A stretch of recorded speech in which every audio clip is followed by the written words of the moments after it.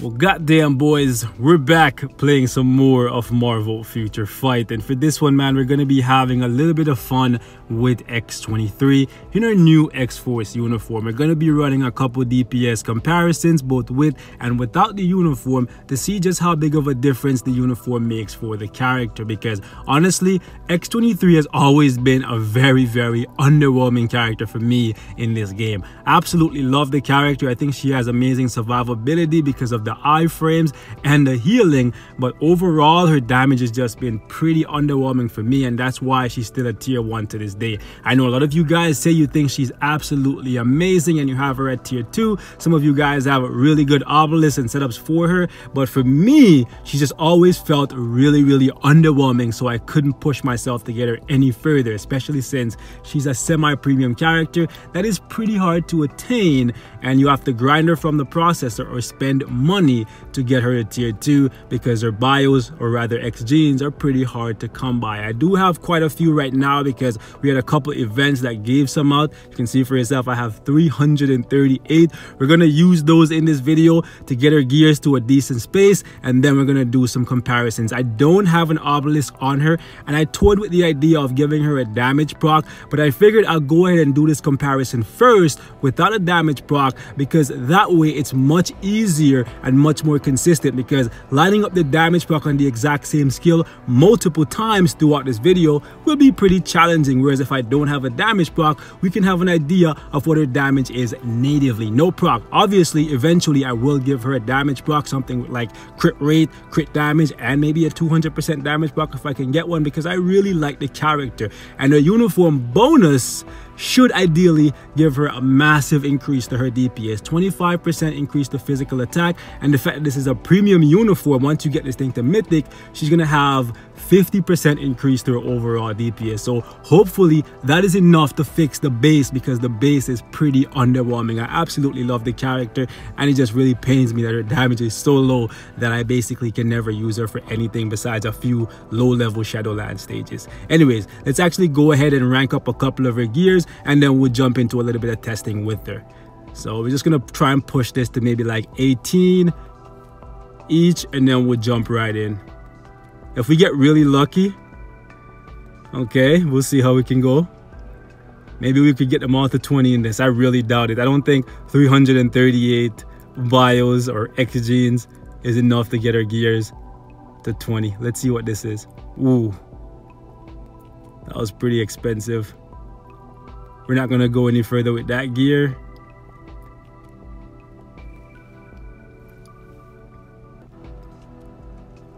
Getting multiple events back to back for her is actually pretty helpful for someone like me who's just been grinding her through the processor because I refused to use any of my X gene selectors on her. I'm just gonna use them all on Gambit and then just give the rest to Magik. If we get really, really lucky, we might get a couple gears to 20. Wow. The luck is actually rolling in. But watch me say that, and then we get hit with a times 30. Let's see. We're gonna go for one. No, we're not gonna do it. We're not gonna do it. We're not gonna do it. Let's get this one right here because she needs a cooldown. Let's at least get this one to 19. Because I think my cooldown right now is at about 45%. Yo, these gears are actually really, really helpful right now. They've been staying pretty low. Wow. Can we get two more times one? Wanda. Whoa, times 10. Not terrible. Let's try one more time. Wow. Okay, times 18. Ouch. That hurt. That hurt. That hurt real bad. Let's get the first gear to 20 at least. Wow. Woo. Boys, are, we about to get... Are we about to get that lucky right now? No. Okay. Ouch. Ouch. Ouch. That hurt. Yeah, I don't think we're going to be able to get this. Uh-oh. Uh-oh. Hold up, guys. We might just get... No way. Woo. Oh my goodness, really? Really? Wow. Wow. You know what, guys? Hold up. Hold up. I didn't want to do this, but let's see if we can get a couple more of her X genes. And we got one, two, got a couple Nightcrawlers in there. Let's try it a couple more times. Shit. We only got one here. We got one, two, three. You know what? We might have enough, you know, guys. I'm gonna do it one more time. Ah, nice. Jackpot on Nightcrawler. Yo. Okay, let's go try it right now. I'm using so many shards right now. Yo, yo, yo. Okay, we have two rolls. Let's go. Oh my, you gotta be kidding me. Yo, RNG's a troll. Oh my goodness, bro. Hold up, guys. Let's try one more time. Okay. We got it for sure this time, right? We got it for sure this time. There's no way. Yo, let me see that last gear. What is it at? Okay, we got it for sure this time. Nice, nice, nice. Okay, so her gears are completed total was what like 350 bios? That was actually very very cheap. Very very cheap. Okay so let's take a look at the overall stats now. So we went up three percent in reduced cooldown duration because i was at 45 before and everything else is just kind of whatever. Ignore defense is maxed out. Crit damage is pretty low, but because of her tier 2 passive, I don't want to give her too much crit damage. You can see for herself right there, she's going to give herself 35%, which is huge. Her tier 2 passive is actually pretty damn solid, can't lie. It's just that her base damage is so freaking low. Okay, here's what we're going to do. We're going to take off the uniform, and then we're going to test her out on a couple different entry modes. Alright, so previously the highest entry mode I've ever been able to complete with X23 is actually on stage 15, this one right here. And I've tried her a few times on stage 20, but I couldn't complete it with her gears at 15. Let's see if we can do significantly better now that her gears are at 20. Still no damage proc though, so I really have my doubts that she'll be able to complete this because her AoE is really not that good. And that is one of the reasons why her damage is so bad because she just focuses entirely on one particular character while the other characters just chill off to the side and the clock just runs down on her, right? So yeah, really wanted a new fifth skill so freaking badly and her defenses is really not that high. So when she gets caught outside of her iframes, she takes a ton of damage. But you want to take damage with her ideally so that you can keep her 4-star passive active. Yeah, there's no way she's going to be able to complete this. We might kill two of three, but without a damage proc, I don't think it's possible for her. The fifth skill, man, the radius on that fifth skill, pure garbage. We might squeeze out the win here, you know, guys. We might squeeze it off. Nope. So freaking close. So freaking close. Okay. Let's see how much better she can do here with the uniform. Let's go ahead and equip that thing real quick and see if that is enough to make her able to complete this thing. Keep in mind, all we're really getting is a uniform bonus. Well, that's not technically true. We're getting a stronger forward skill and we're getting an all defense down on the third.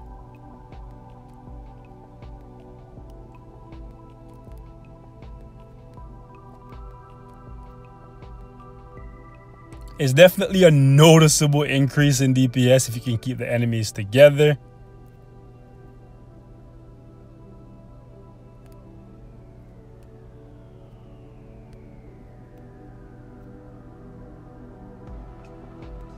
It's definitely not a massive increase though.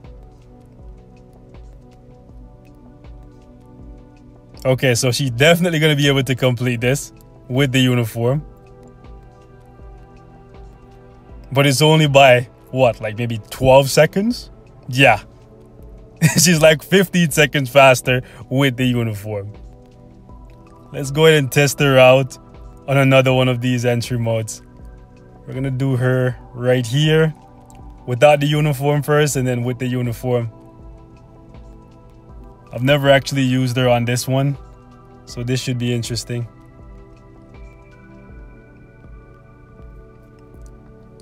Now, since these guys have a lot of summons, once they start putting bodies on the map, I really feel like even with the uniform, she may not be able to complete this. Especially since Volstagg does that. He reflects. Physical attacks. We got two combat types in here, but they're doing good staying together.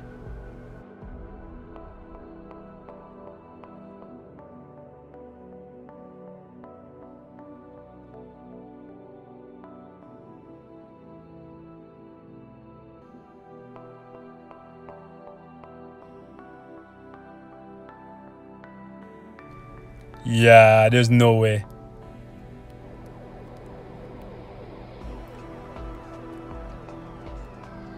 Even without the summons here,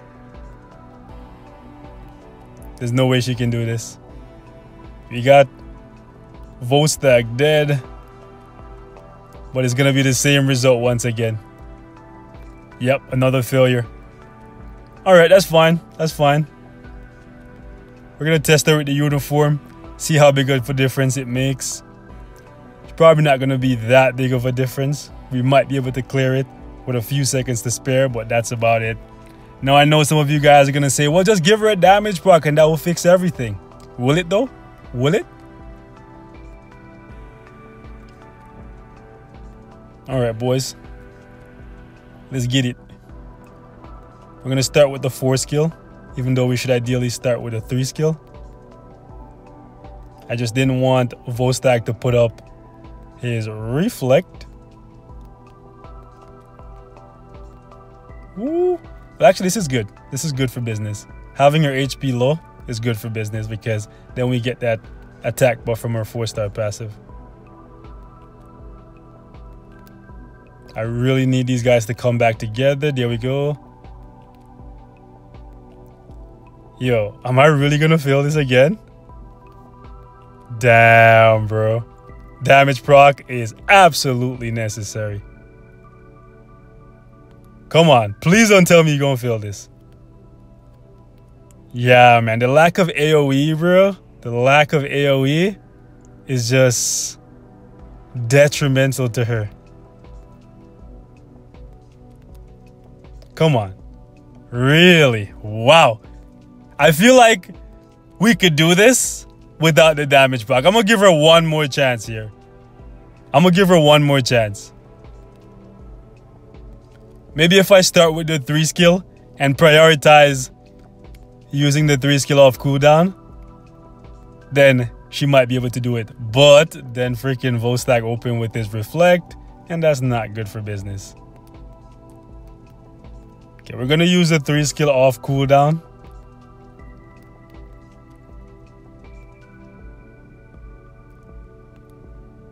And we're gonna try to stay out of iframes for about half a second after they end, just so that these guys come to me. Okay, so it looks like she can definitely do it if we prioritize the three skill. I'm sad the three skill, okay, get out of here. It's not as good as Deadpool's because that's what she needs. She needs a really cool defense buff. This one right here only reduces it by what, 1500? It's not going to be that good for World Boss Ultimate. But for stuff like Shadowland, it may be okay.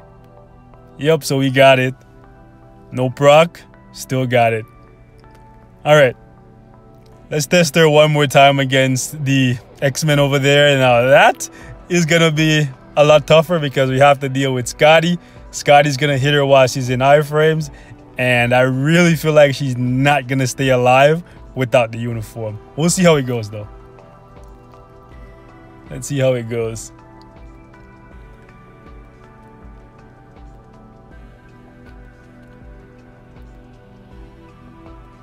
All right, so this is the hardest of the three floors. So I really have my doubts that she's to be able to complete this, especially since Cyclops is in here and he's just to stun her consistently in iframes. It's just bad for business.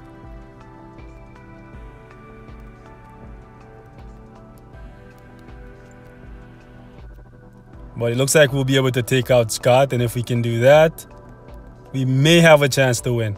But Rogue is pretty tanky because of the damage block. And Beast is pretty annoying as well. Yeah, I don't think she has the deeds for this. And it's again, it comes down to just not having enough AoE. Now, I know putting a damage proc on her will give her more damage. And that may make up for the fact that her AoE is absolute garbage. But I don't see her flying to the top of the speed class anytime soon. So once again, this is not a must-buy uniform for me.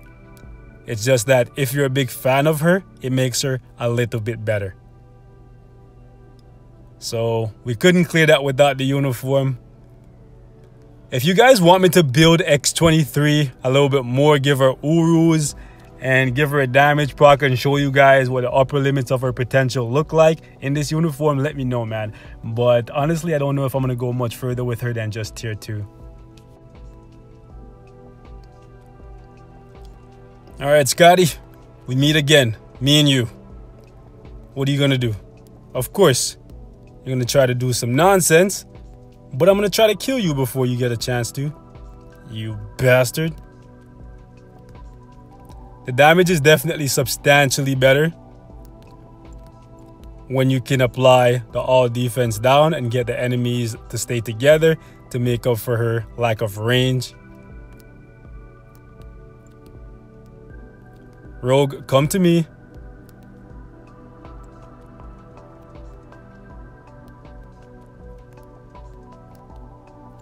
The damage looked so good and it just kind of fell off because Rogue is just chilling over there.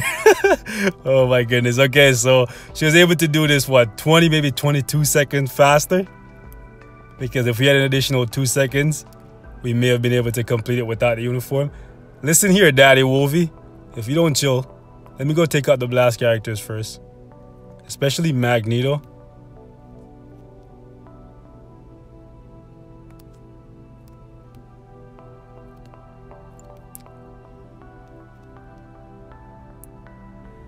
I wish I could just switch targets in the middle of using a skill. That would be such a cool feature.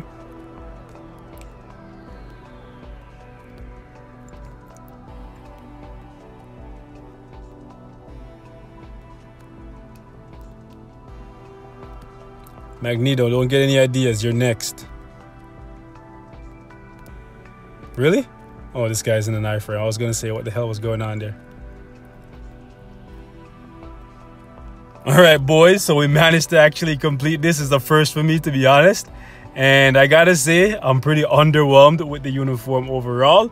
But considering the fact that she's not a tier 2 yet and I don't have a damage block on her, I guess it's not completely awful because before she couldn't do this at all. At the very least, now she's able to complete it. But for me, still pretty underwhelming considering that this is the X-Force uniform, one of my favorite looks for her. But anyways, guys, leave your thoughts in the comments. How are you feeling about X-23 in this new uniform? If you picked it up, let me know some of the crazy things that you guys have been able to do with her. And if you'd like to see me make future videos, videos on her. If you want me to give her Urus, get her to tier 2, and try to see just how much we can get out of her in World Boss Ultimate, let me know in the comments. Till next time, boys, thanks for watching. Peace out.